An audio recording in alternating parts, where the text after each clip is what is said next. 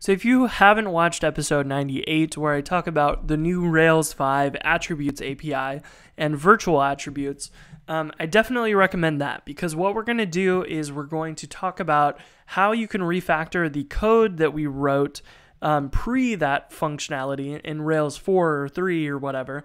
The, the code that we wrote could be abstracted out into a concern um, and more or less replicating the attribute method that Rails introduced. So I want to talk about how we can refactor our code that we were writing right inside the, uh, the model and how we can more or less build the same sort of method that they did um, using metaprogramming.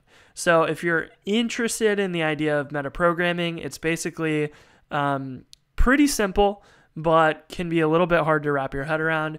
You're writing code that writes code.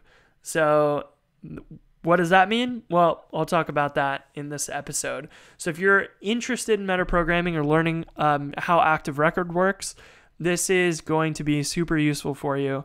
Um, and if you're if you've done this before, it's pretty straightforward, and this will probably be um, old hat to you. So, what we had in the previous episode was we had this form